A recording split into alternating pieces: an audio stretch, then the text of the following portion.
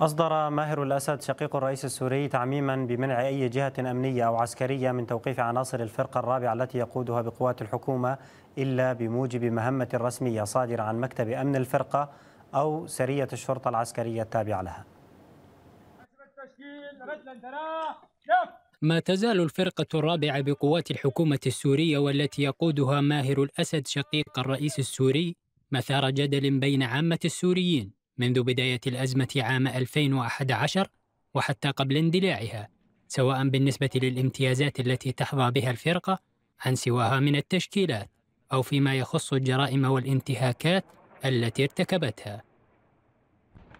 ماهر الأسد أصدر تعميما بمنع أي جهة أمنية أو عسكرية من توقيف عناصر الفرقة إلا بموجب مهمة رسمية صادرة عن مكتب أمن الفرقة الرابعة أو سرية الشرطة العسكرية التابعة أيضا بدورها للفرقة وذلك على خلفية خلافات واشتباكات جرت بين عناصر الفرقة الرابعة وعناصر من عدة تشكيلات عسكرية وأمنية أخرى في عدة مناطق.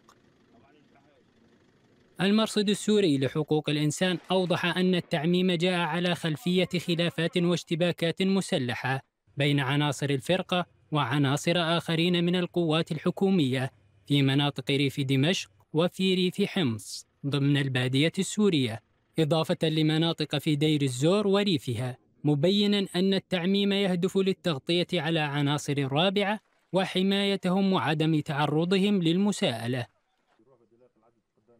وبحسب المرصد فإن اشتباكات عنيفة بالأسلحة الخفيفة والمتوسطة دارت في السابع من أبريل نيسان الماضي في ريف دير الزور الغربي بين مجموعات تابعة لما يسمى الدفاع الوطني من جهة وعناصر من الفرقة الرابعة وما يسمى بلواء الباقر من جهة أخرى من أجل السيطرة على معبر بلدة عياش وإغلاقه واحتكار تهريب المحروقات. وتمكن عناصر الدفاع الوطني التابع لقوات الحكومة حينها من أسر 12 عنصرا من الفرقة الرابعة ولواء الباقر. والاستيلاء على سيارة دفع رباعي مزودة بسلاح متوسط. كما قتل عنصر من الفرقة الرابعة برصاص الدفاع الوطني في حي الجورة بمدينة دير الزور في الحادي والعشرين من شباط فبراير الماضي.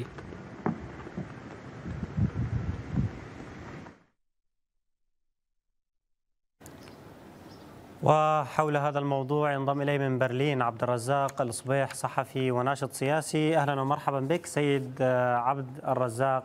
إذا اليوم تعميم بمنع التعرض لعناصر الفرقة الرابعة من أي جهة باستثناء آه، ما هو تابع للفرقة الرابعة. ما مؤشرات هكذا تعميم؟ آه، نعم عندما يغيب قانون الدولة آه، ويحكم قانون العائلة فلا غرابة من أي تعميم أو من أي قرار يصدر من هذه الجهة أو من تلك. في الواقع أمس أصدر اللواء الركن ماهر الأسد قائد الفرقة الرابعة شقيق بشار الأسد تعميما يقضي بمنع توقيف أي عنصر أو أيا كان من عناصر الفرقة الرابعة إلا بموجب مذكرة من الشرطة العسكرية التابعة أو تابعة للفرقة أو من أمنها يذكر أن لهذه الفرقة شرطة عسكرية خاصة بها وقضاء خاص بها وقوانين خاصة بها ولا لا تسري عليها قوانين الدولة. نعم تماما كما فعل رفعت الأسد شقيق حافظ الأسد في ثمانينيات القرن الماضي عندما أطلق يد سرايا الدفاع وسرايا الصراع في في الثمانينيات من القرن الماضي وقتلت وارتكبت أفظع المجازر في تلك الفترة عشرات آلاف السوريين قتلوا في مدينة حماة وفي غيرها، في الواقع خلاف ماهر الأسد اليوم هو مع زوجة بشار الأسد أسماء الأسد وليس يعني مع قبل ماهر الأسد. قبل أن نتطرق إلى هذا الخلاف سيد عبد الرزاق اليوم تتحدث عن أن هذه الفرقة لها شرطة عسكرية خاصة بها ومحاكم خاصة بها وتشكيلات أو مؤسسات أخرى خاصة بها، اذا اليوم نحن أمام جيش داخل جيش إن صح التعبير. تماما. سنت هو جيش داخل جيش وكيان داخل كيان. في الواقع هذا الكيان لا سلطة للحكومة عليه ولا سلطة لبشار الأسد عليه إنما هو في سلطة مطلقة لماهر الأسد وهي سلطة عسكرية مطلقة بالإضافة إلى سلطته العسكرية لديه أذرع اقتصادية أيضا في سوريا. وهذه الازرع في الواقع بدأت تتضارب مع ازرع أخرى لاسماء الأسد. نعم.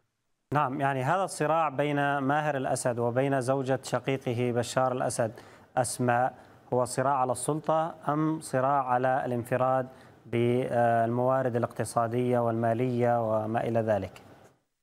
نعم تماما هو صراع على المال وعلى الثروات الموجودة خلال الفترة الماضية كانت أسماء الأسد قد استولت على كبرى الشركات الاقتصادية وعلى الشركات التابعة لرامي مخلوف الواجهة الاقتصادية للأسد. أسماء الأسد سيطرت على شركات الخليوي وبعض الاستثمارات الاستثمارات وكبرى الشركات وأصبحت تحت سيطرتها بشكل تام.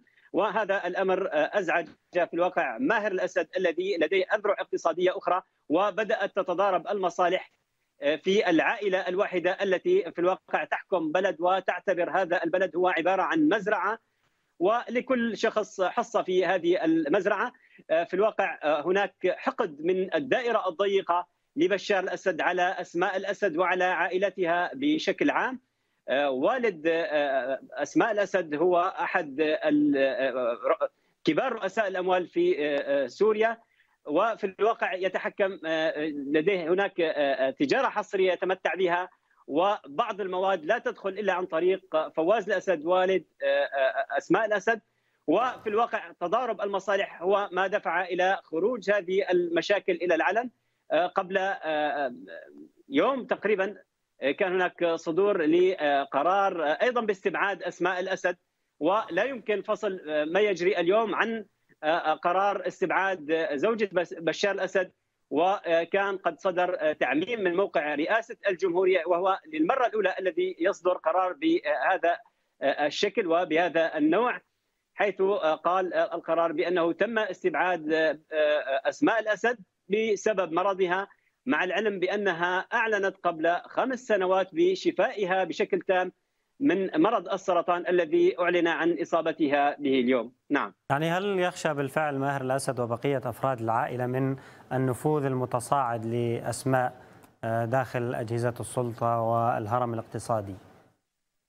نعم في الواقع لم تكتفي أسماء في استيلائها على الشركات الاقتصادية وأصبح لديها أذرع اقتصادية وإنما حاولت التمدد باتجاه السياسة وباكثر من موقع كانت تحضر به وأكثر من مكان كانت تحضر به ومن المفترض أن يكون هناك رجال سياسيين أو حتى بشار الأسد أصبحت تحضر عنه في أكثر من مناسبة. وهذا الأمر أيضا ربما يقلق ماهر الأسد ويقلق الدائرة الضيقة منها. وكان قبل فترة تقديمها لولدها في الواقع قبل فترة ذهب إلى روسيا بصفة تقريبا شبه دبلوماسية أو شبه رسمية. وتحاول أسماء أيضا أن تصدر ولدها على أنه الوريث لبشار الأسد في المستقبل. وهذا الأمر يزعج ماهر الأسد ويزعج الدائره الضيقة لبشار الأسد. نعم. نعم سيد عبد الرزاق يعني قبل فترة كان هناك تسريبات عن حالة تسمم أو تسميم متعمد للمدعو يسار إبراهيم الذي يعرف بأنه الذراع الاقتصادية لأسماء الأسد ومن يحرك مكتبها الاقتصادي السري هل هذا مرتبط اليوم بين الصراع بين أسماء وماهر؟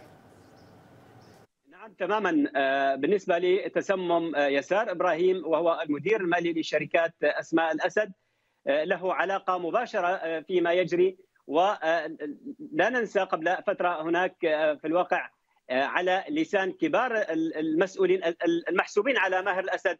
هناك حالة تذمر من أسماء الأسد وظهرت في أكثر من موقع وحتى هناك بعض الفيديوهات التي ظهرت لأشخاص موالين لنظام الأسد وأظهرهم على أنهم معارضين. أشاروا بشكل مباشر إلى أسماء الأسد وبأنها هي باتت تستحوذ على السلطة وتريد الانتقال على المال وتريد الانتقال إلى السلطة أيضا. وهذا ظهر جليا خلال الفترة الماضية. هناك ترابط في الأحداث وحتى مساء أمس كان هناك حركة غير طبيعية في منطقة المهاجرين في المنطقة التي يتواجد فيها قصر بشار الأسد ومنطقة أمنية ومنطقة عسكرية. كان هناك حركة غير طبيعية بالنسبة للآليات للدخول والخروج ولحركة الضباط المحسوبين على ماهر الأسد والمحسوبين على بشار الأسد بحسب أشخاص موجودين في المنطقة بحسب في الواقع شهود عيان أكدوا أن هناك حركة غير طبيعية في منطقة المهاجرين. نعم. يعني ما الذي يرجح اليوم كنتيجة من هذا الصراع؟ هل تنتصر ضغوط ماهر الأسد في إقصاء أسماء الأسد عن المشهد؟ أم أن الخلافات ربما تأخذ منحا آخر قد يتطور إلى خلاف بين الشقيقين؟ في الواقع لا يمكن لبشار الأسد أن يبقى مكتوف الأيدي حتى هذه اللحظة حتى هذه اللحظة بشار الأسد غائب تماما عن هذه الخلافات. ربما في الفترة اللاحقة يتدخل بشار الأسد ليس طواعية وإنما بضغط دولي وضغط ضغط من حلفائه حتى يبقى ويظهر كأنه منظر يظهر بمظهر الرئيس والذي يتحكم في مفارق ومفاصل الدولة.